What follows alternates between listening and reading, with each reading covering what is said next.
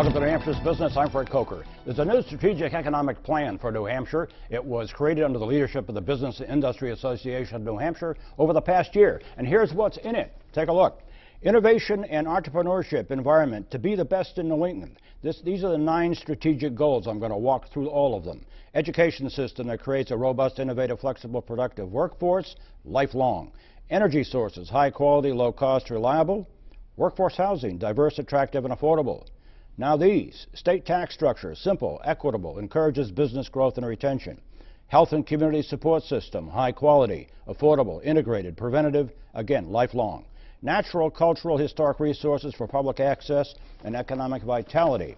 And then multimodal transportation, safe, reliable, high bandwidth, high-speed communication, improved water supply, wastewater, and stormwater systems, and finally, regulations that are clear, appropriate, consistent, objective, with predictable outcomes that protect workers, residents, and natural resources. With me to talk about this is the president of the Business and Industry Association of New Hampshire, Jim Roche. Welcome. Thank you. And the director of the Center for Public Policy Studies in New Hampshire, Steve Norton. Thanks, Fred. Nice to have you.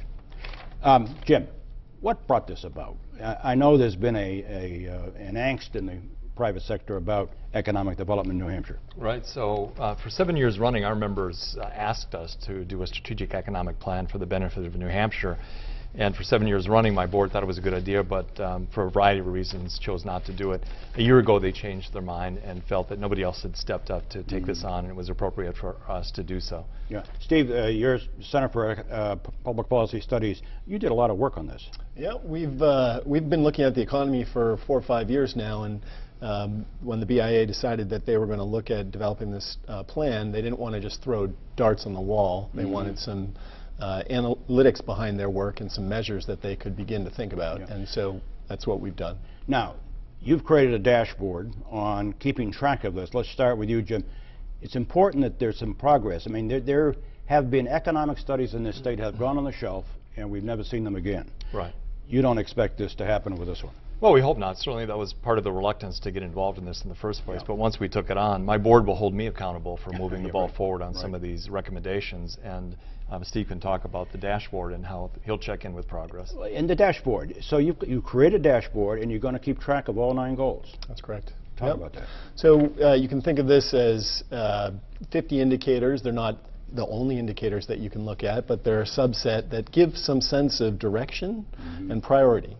And so over the course of five years, you might see actions that the BIA takes or the legislature or others move some of those indicators. For example, one of the things that we have seen in the data is that some of the current indicators, our current level of education is really good, but some of the future indicators or indicators that predict how we might do as a future economy are mm -hmm. relatively poor. We don't educate our own particularly well.